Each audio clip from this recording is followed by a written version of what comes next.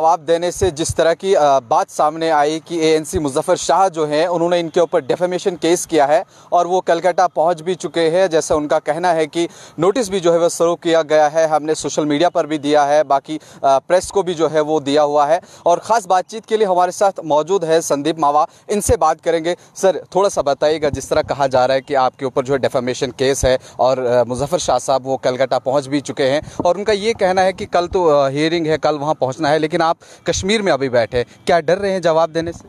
देखिए, मैंने news insider से सुना कि मुजफ़र शाह साहब ने शेख इमरान और मेरे ख़िलाफ़ केस किया है। तो जब केस किया जाता है तो सबसे पहले कोर्ट नोटिस बेचता है। तो आज इस बात को महीना हो गया, मुझे कोई नोटिस नहीं आया है। जो ही नोटिस आएगा तो हम जवाब देंगे और मैंने आपको वादा किया है क्योंकि न्यूज़ इनसाइडर जम्मू कश्मीर की नंबर वन न्यूज़ पोर्टल है। मैं आपसे वादा करता हूँ जीत के आएँगे लेकिन जंग तो शुरू हो। कहीं नोटिस तो आए अदालत का? अब अदालत का नोटिस आया नहीं तो मैं कलकत्ता क्या करने जाऊँ? लेकिन जिस तरह से उन्होंने एक चीज़ एक ये एस्पेक्ट है। पहले कोर्ट संज्ञान तो ले इस बात का।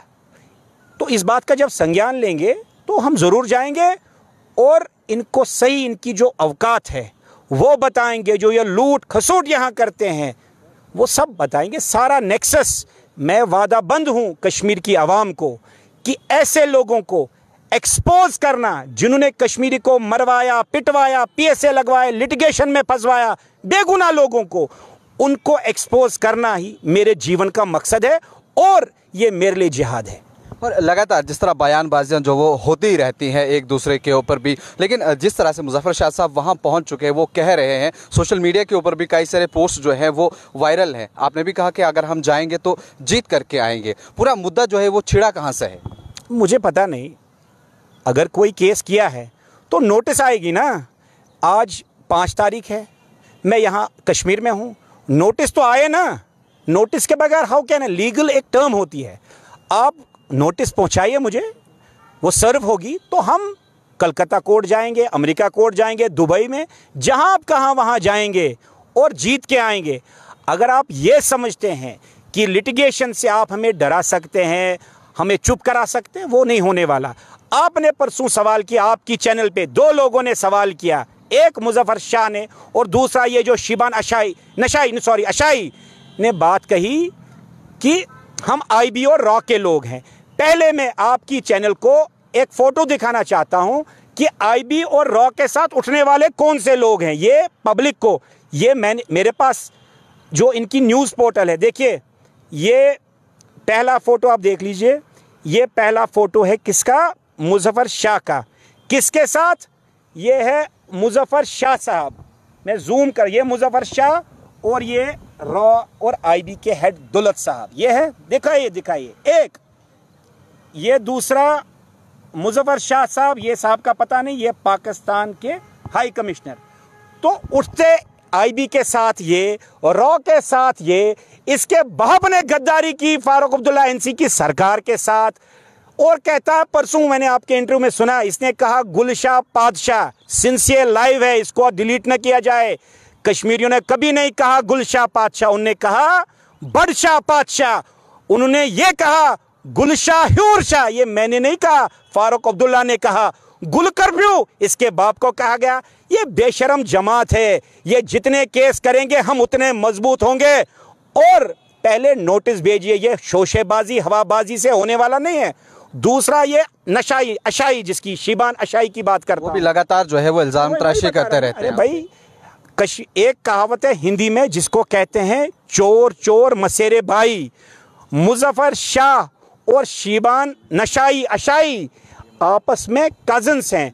ये इसका पुफेरा भाई है। तभी कहते हैं ना, चोर चोर, मसेरे भाई।